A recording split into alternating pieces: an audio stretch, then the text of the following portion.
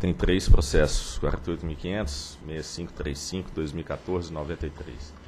Proposta de abertura de audiência pública com vistas a acolher subsídios e informações adicionais para aprovação do edital do leilão número 3 de 2015, leilão A-5 de 2015, o qual se destina à contratação de energia proveniente de novos empreendimentos de geração de energia elétrica. Diretor relator, doutor André Peptoni. Bom, coincidentemente nessa sessão, então nós homologamos e adjudicamos parcialmente o resultado do leilão A-5 2014 e nesse momento a gente também passa a avaliar a abertura de audiência pública para a edição do leilão A-5 de 2015.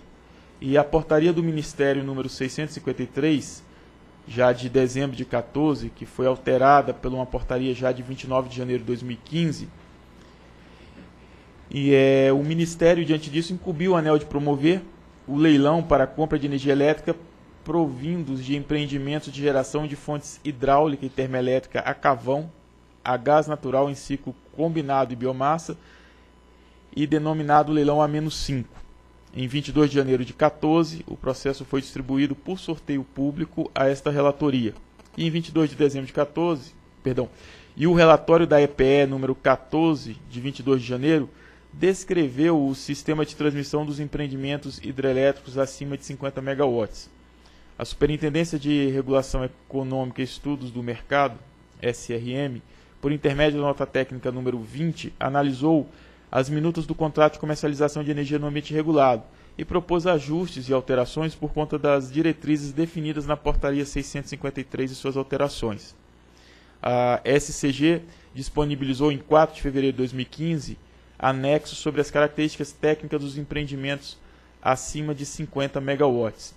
E a Comissão Especial de Licitação da ANEL, pela nota técnica número 7, de 5 de fevereiro de 2015, apresentou a minuta do edital e dos anexos do leilão número 3 de 2015, destacou as principais alterações em relação às regras do certame anterior e recomendou a abertura de audiência pública entre 11 de fevereiro e 6 de março de 2015 para subsidiar a aprovação do edital deste leilão. É o relatório. Procuradoria.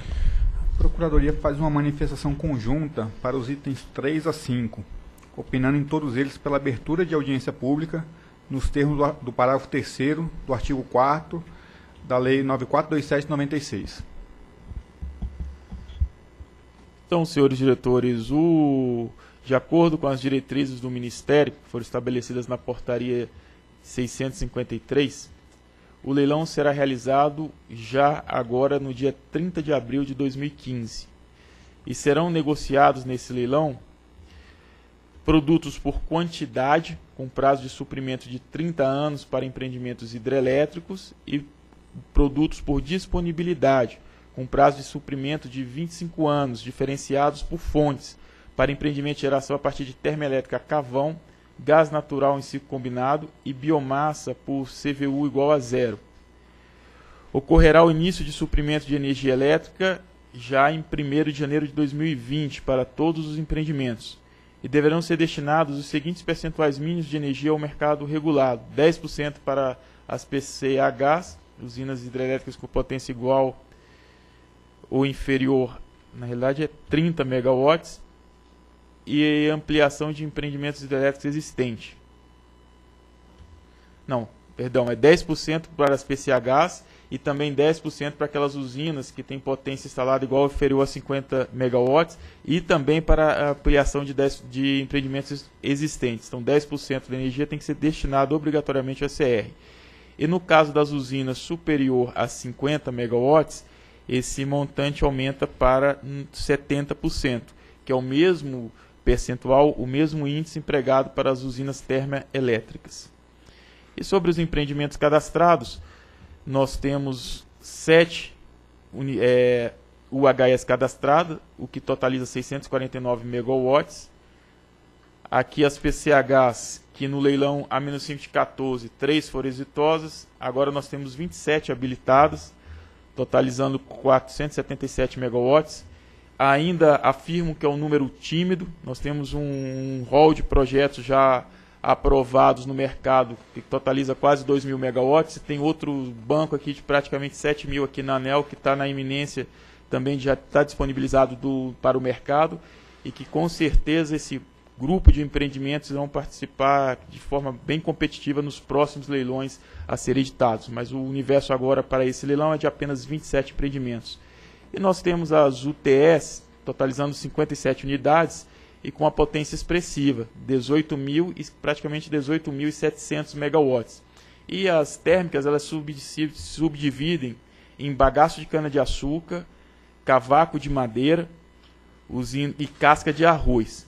Então essas usinas de bagaço de cana e cavaco de madeira, usinas renováveis, totalizam mais de 1.100 megawatts que será disponibilizado para participar do leilão.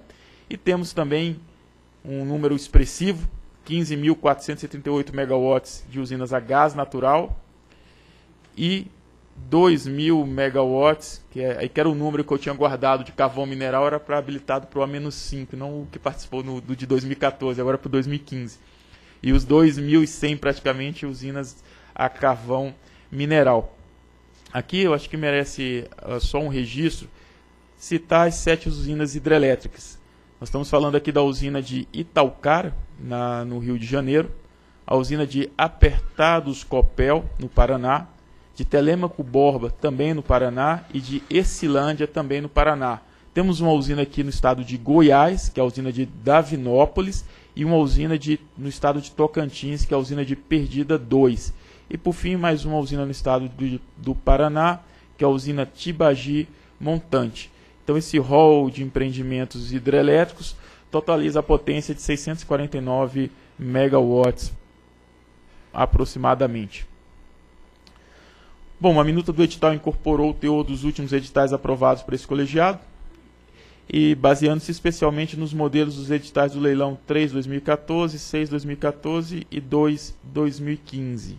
E o MME indicou para o leilão A-5 os seguintes empreendimentos hidrelétricos, nós já abordamos, e a descrição dos empreendimentos e as características técnicas constam do anexo 8 do edital.